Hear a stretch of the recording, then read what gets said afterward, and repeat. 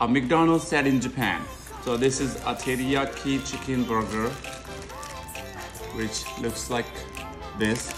This is uh, French fries, and they also have peas and uh, corn mix, and this is a drink. So this all costs about seven dollars. Pretty decent, and it's good. Let's give it a try.